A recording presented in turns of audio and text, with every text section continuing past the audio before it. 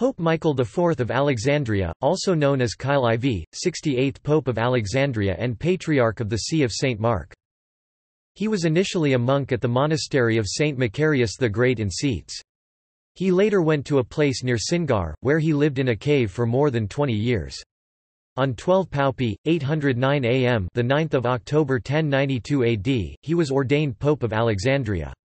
He was known for his love of the poor and needy, and for spending the church money on paying the jizya for those Copts who could not afford to pay it, so that they could keep their Christianity. The Arabic historian al-Makin is quoted by later historians as recounting that Pope Michael IV made a journey to Ethiopia to ask that country's emperor to allow the Nile to flood to its normal levels, which would end the current famine.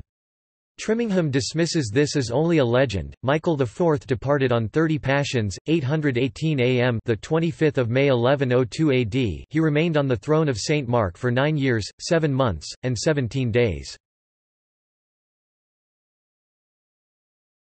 Topic Notes Topic